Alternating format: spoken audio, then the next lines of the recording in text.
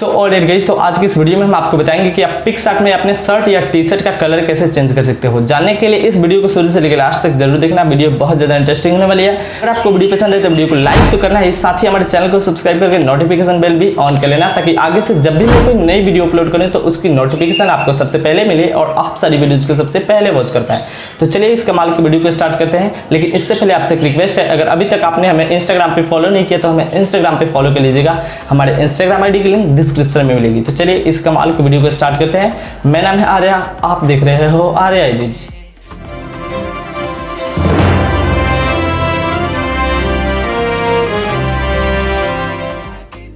तो दोस्तों, जैसे कि आप देख पा रहे हो कि पिक्सार्ट ऐप में हमने एक फ़ोटो को इंपोर्ट के लिए है। इसका बैकग्राउंड मतलब इसका जो है टी शर्ट या फिर शर्ट का कलर आप देख पा रहे हो कि रेड कलर है। इसको मैं आपको चेंज करके दिखाऊँगा। सबसे पहले आपको यहाँ टूल्स पे क्लिक करना है। यहाँ आने के बाद आपको एडजस्ट में चले आना है और कुछ बेसिक एडजस्टमेंट करनी है। अगर आप ये नहीं करोगे तो आपके कपड़ों का कलर चेंज नहीं हो सकता, यानी कि अच्छे तरीके से नहीं हो सकता। ठीक है गाइस तो आपको यहाँ पे आने के बाद आपको सिचुएशन मिलेगी। सिचुएशन का आपको फुली इंक्रीज कर देना है। ठीक है गाइस तो आप अपने हिसाब से रख सकते हो। मैं यहाँ पे फुल कर दिया हूँ।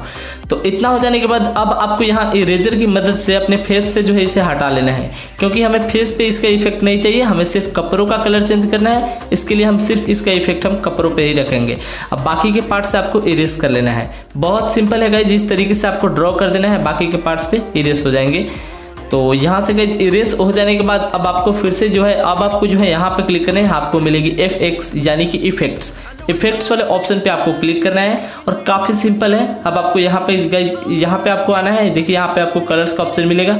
सबसे पहले आप इफेक्ट्स में रहेंगे, यहाँ पे आपको आना है और यहाँ आपको मिलेगी कलर्स तो आपको कलर्स वाले ऑप्शन में आ जाना है और यहाँ पे आने के बाद सबसे पहले आपको जो है यहाँ पे मिलेगी कलर रिप्लेस तो आपको ये वाला कलर रिप्लेस को जो है सिलेक्ट करना है, जो कि आपको थर्ड नंबर पे मिलती है।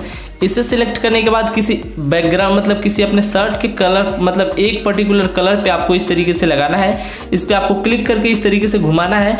और जैसे कि हमें रेड कलर का जो है चेंज करना है रेड कलर का जो हमारा शर्ट है, मान लीजिए टी शर्ट है। तो इस तरीके से मैंने यहाँ पर रेड पर रख दिया तो ये जो है अब कलर इसका चेंज हो जाएगा। इसको कैसे करना है? तो आपको यहाँ पर मिलेगा रिप्लेस ह्यू तो अगर आप इसे राइट राइट की ओर लेफ़्ट की ओर ले जाएँगे तो आपके कलर जो है कपड़ों का चेंज होता जाएगा। तो आपको जो भी कलर आपको पसंद हो, वो कलर आप रख सकते हो। और कैसे मैं आपको पूरा प्रोफेशनली बताने वाला हूँ कि कैसे आप बिल्कुल भी इफेक्ट्स के बिना मतलब लगेगा ही नहीं कि कलर चेंज किया हुआ है इसका। तो इस तरीके से मान लीजिए कि हमें ये ब्लू कलर रखना है, ठीक है तो इतना हो जाने के बाद अब आपको जो है यहाँ पे क्लिक करना होगा कलर रिप्लेस पे तो मैं यहाँ से करता हूँ क्लिक और क्लिक करने के बाद ये जो है मिनिमाइज हो जाएगा। उसके बाद अब आपको यहाँ पे क्लिक करना है इरेजर पे। इस पर क्लिक करने के बाद अपने फ़ोटो को जूम करना है और जूम करने के बाद अब आप देख पा रहे हो कि इसका इफ़ेक्ट हमारे पूरे फेस पे आ चुका है, यानी कि फेस जो है हमारा पर्पल कलर का दिख रहा है। तो फेस को जो है हम कैसे हटाएँगे? चलिए वो जानते हैं। अब आपको यहाँ मिलेगी इरेस तो आपको इरेस को सिलेक्ट करना है और इस तरीके से फेस पे चलाना है ताकि फेस से इसका इफ़ेक्ट जो है खत्म हो जाए। तो पूरे फेस पे और बैकग्राउंड पे हमें चला लेते हैं जल्दी जल्दी से ताकि आपका टाइम भी वेस्ट ना हो और आप अच्छे तरीके से समझ भी पाए।